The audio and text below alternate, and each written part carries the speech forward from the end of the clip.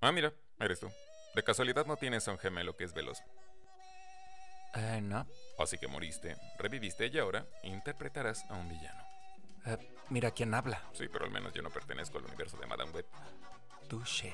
Yo soy Tony Stark y estas son las curiosidades del tráiler 2 de Craven el Cazador.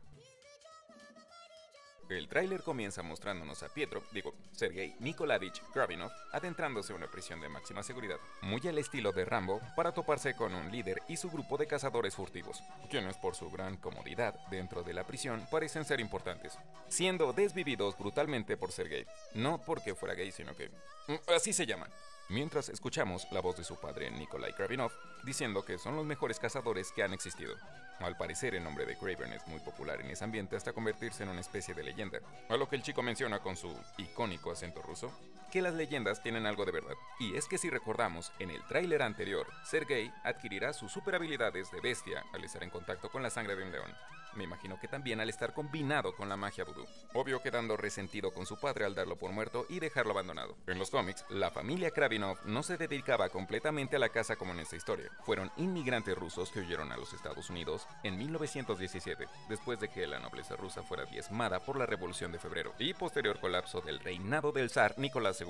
Pero a Sergei le llamó la atención esto de la caza desde muy pequeño, siendo entrenado por un tipo de nombre Gregor, quien era un mercenario, sirviente y amigo de la familia Kravinov. Él prácticamente le enseñó de todo, el uso de armas, combate cuerpo a cuerpo, hasta convertirlo en un gran cazador. Vemos que escapa de dicha prisión y trabaja de la mano con esta chica de nombre Calypso. O sea, que Sergei no es cazador de bestias como en los cómics, sino cazador de cazadores furtivos, a lo que su padre también aquí lo es. Si nos vamos a los cómics, Sergei en uno de sus viajes a Haití conoce a Calypso. Estos dos se convierten en pareja y crea un suero que le da super habilidades, como super fuerza, velocidad, resistencia, no tan potente como Spidey, pero digamos que es más poderoso que un humano promedio, además de que lo hace envejecer mucho más lento, aunque él tenga casi más de 70 años. Él no es muy fan de usar armas de fuego, sino armas primitivas o hasta sus propias manos, acompañado de venenos y tranquilizantes exóticos. Y por supuesto, su gran inteligencia estratega. Vemos el logo de Sony, quien cumple 100 años, felicidades, y por supuesto el logo de Marvel. Vemos que porta su icónico traje de chaleco de león,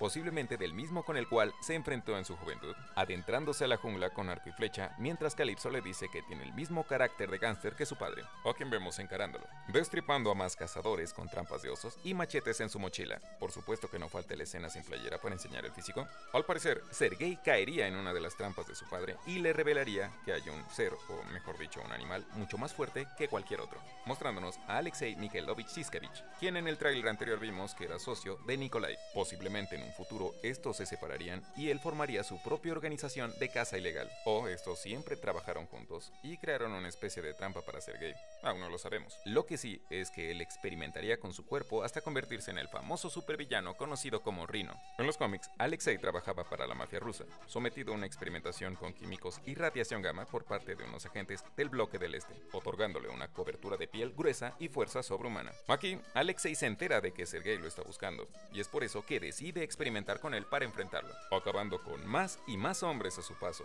Y como vemos aquí, Sergei tendrá la habilidad de conectarse telepáticamente con las bestias y convertirlas en sus aliadas, teniendo un vistazo de Dmitry Serbiakov, quien en los cómics era sirviente pero también hermanastro de Sergei. Él admiraba, pero también sentía un poquito de recelo hacia Sergei porque le hacía bullying. Así que cuando él emigra a Estados Unidos y al ser un maestro del disfraz, decide irse por el camino criminal, tomando el alias del camaleón. Aún desconocemos el rol que tendría este chico en esta historia, si será malo o requete malo, pero en los cómics él fue quien inspiró a Craven a cazar Spider-Man, y aunque fueron aliados de los seis siniestros, también tuvieron sus diferencias siendo derrotado por Craven. Posiblemente podría tomar el aspecto de su padre o Alexei, Sergei acabaría con él, dándose cuenta que al final acabó con la vida de su hermano, o donde revela que él es el villano final, pero termina sobreviviendo. Sus poderes se basan en cambio de apariencia. Empezó con máscaras, maquillaje, luego un gas que le deformaba la cara, y por último, gracias a una especie de tecnología que lleva en un cinturón, cambia de aspecto con un holograma. Sergei es tan fuerte que puede detener un helicóptero. No, olvídenlo,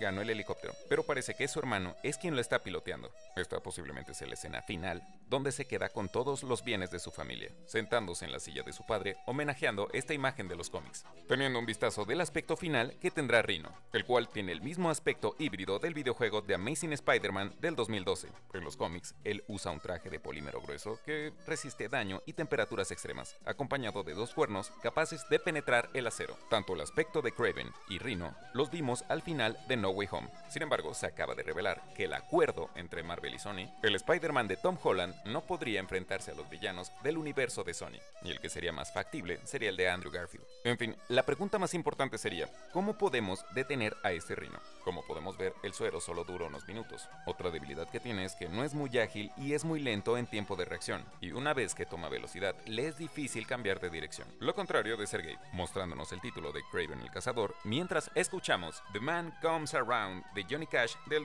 2002, teniendo su fecha de estreno el 12 de diciembre de este año. Pues bueno amigos, hasta aquí el video de hoy, esperando que te haya gustado. Si fue así, por favor te invito a que te suscribas a este canal. Actives la campanita de notificaciones para que recibas el aviso cada que suba un nuevo video. Yo soy Tony Stark y te amo 3 millones.